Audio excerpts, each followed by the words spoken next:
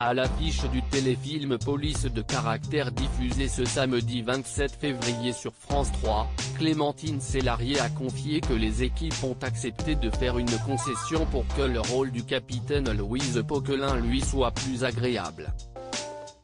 Les auteurs ont eu la générosité de nous laisser, le réalisateur Gabriel Avion et moi-même, lui apporter encore plus de folie, a raconté la comédienne dans nos colonnes de Téléstar ce lundi 22 février. Ce qu'ils m'ont proposé, si est un rôle qui dépasse les bornes?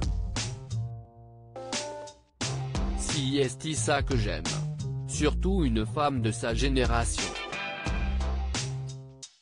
À 63 ans, Clémentine Célarier veut plus que tout assumer son âge.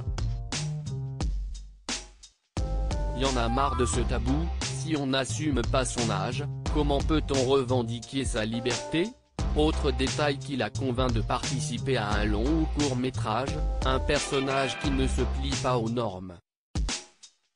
La convention, sauf si elle est outrancière, ne m'intéresse pas, a-t-elle poursuivi, et dans la vie encore moins.